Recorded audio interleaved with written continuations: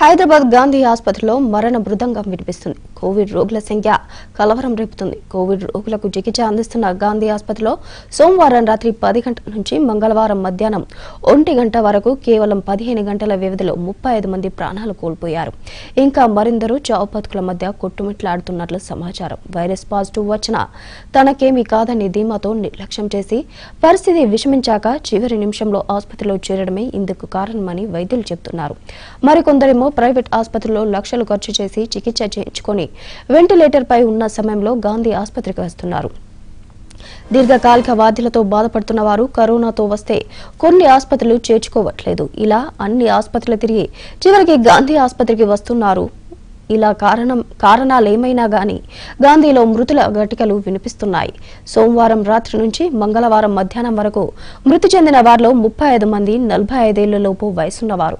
తొమ్మిది మంది ఉండడం గమనార్హం. మిగతా వారంతా నలభై నుంచి ఎనభై మూడేళ్ళ వారున్నారు.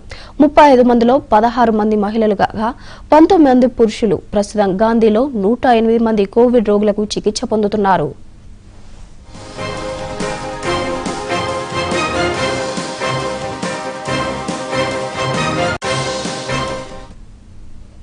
ఇక ఇదే విషయంపై మరింత సమాచారాన్ని మా ప్రతినిధి శశి అందిస్తారు. శశి చెప్పండి కరోనా కేసులు పెరుగుతున్న నేపథ్యంలో మరణాల సంఖ్య కూడా అత్యధికంగా అలానే పెరుగుతుంది. ఇక తాజాగా పదిహేను గంటలలో ముప్పై ఐదు మంది గాంధీ ఆసుపత్రిలో మరణించినట్లుగా తెలుస్తుంది. దీనిపైన అప్డేట్ ఏంటి? గాంధీ ఆసుపత్రిలో మృత్యు గంటికలు మోగుతున్నాయి. కరోనాతో చికిత్స పొందుతూ చనిపోతున్న వారి సంఖ్య పెరుగుతూ ఉంది. అయితే నిన్న మొన్నటి వరకు కూడా తెలంగాణలో వైద్య ఆరోగ్య శాఖ విడుదల చేస్తున్నటువంటి బులెటిన్ ప్రకారం మరణాల సంఖ్య పదిలోపే ఉంది. అయితే నిన్న కేవలం నిన్న కేవలం ఇరవై నాలుగు గంటల వ్యవధిలో సుమారుగా ముప్పై ఐదు మంది మరణించినట్టుగా కూడా తెలుస్తోంది. గాంధీలోనే ఈ మరణాల సంఖ్య ఎక్కువగా ఉన్నట్టుగా కూడా తెలుస్తుంది. అయితే ఈ మరణాలకు సంబంధించి రెండు ప్రధాన కారణాలుగా మనం చెప్పుకోవచ్చు. మొదటిది ప్రైవేట్ ఆసుపత్రిలో చికిత్స పొందుతూ అక్కడే లక్షలు లక్షలు పోసి ఖర్చు వైద్య చికిత్సలు అందించుకున్న తర్వాత తర్వాత పూర్తిగా పరిస్థితి విషమించిన తర్వాత ప్రైవేట్ హాస్పిటల్స్ చేతులు ఎత్తేస్తూ ఉన్నాయి. దీంతో కుటుంబ సభ్యులు ఎటు పాలుపోలేని స్థితిలో ఆ యొక్క పేషెంట్లను తీసుకుని గాంధీ ఆసుపత్రికి వస్తూ ఉన్నారు.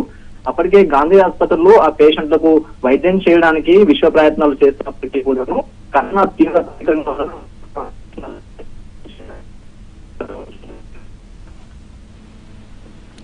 మరో కారణం అయితే మాత్రం ఆల్రెడీ వైరస్ తమ శరీరంలోకి ప్రవేశించిన తర్వాత చాలా మంది అజాగ్రత్తగా ఉంటూ ఉన్నారు. కనీసం ప్రికాషన్స్ కూడా పాటించడం లేదు. కనీసం వైరస్ సోకిన తర్వాత కూడాను వైద్యం చేయించుకోకపోవడం చేత అది పూర్తి స్థాయిలో ఇక ఛాతి వరకు చేరారు శ్వాసకోశ సమస్యలకు దారి తీసేంత వరకు కూడా కొంతమంది నిర్లక్ష్యం వహిస్తూ ఉన్నారు. దీంతో ఆ పూర్తిగా వ్యాధి ముదిరిన తర్వాత గాంధీ హాస్పిటల్కి వస్తూ ఉన్నారు. ఇలా ప్రధానంగా రెండు కారణాల వల్ల గాంధీ హాస్పిటల్కి వస్తున్న వారే ఈ యొక్క మృత్యువార్త పడుతున్నట్టుగా కూడా తెలుస్తుంది.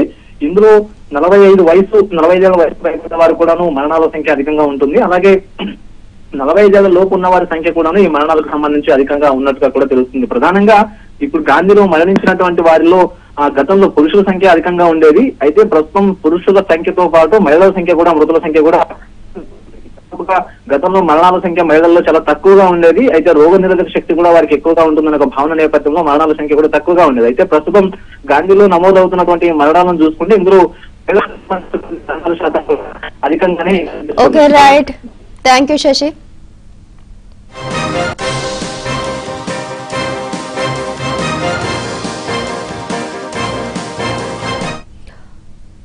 ఆంధ్రప్రదేశ్లో కరోనా వ్యాక్సినేషన్ రికార్డ్ స్థాయిలో కొనసాగుతుంది. నిన్న ఒక్కరోజే ఏకంగా ఆరు లక్షల పదిహేడు వేల నూట ఎనభై రెండు మందికి టీకాలు వేశారు. తూర్పుగోదావరి జిల్లాలో అత్యధికంగా అరవై ఎనిమిది వేల మూడు వందల యాభై ఎనిమిది మందికి టీకాలు వేసినట్లు అధికారులు తెలిపారు.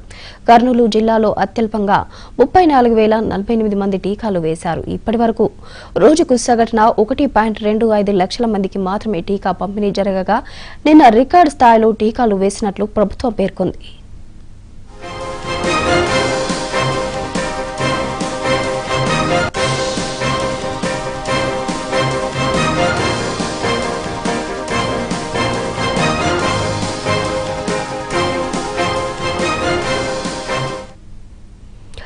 కరోనా వైరస్ వ్యాప్తి నేపథ్యంలో